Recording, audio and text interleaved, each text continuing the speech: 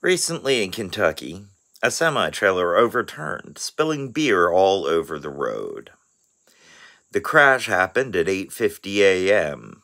The new happy hour started at 9 a.m., the mess was cleaned up by 10 a.m., and everybody had to pee by 10.05.